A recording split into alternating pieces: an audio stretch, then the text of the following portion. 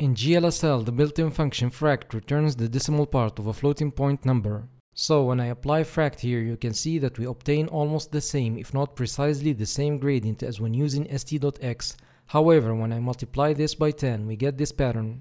Now, to transform this into a radial pattern, I'll replace st.x with the distance from the center, then to animate it, I'll subtract u time.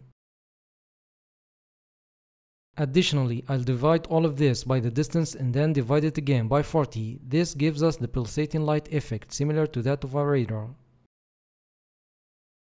Finally, let's introduce some color. To do that, I'll create a vector 3 containing arbitrary values. Then we can experiment with various operators to achieve different and visually appealing effects.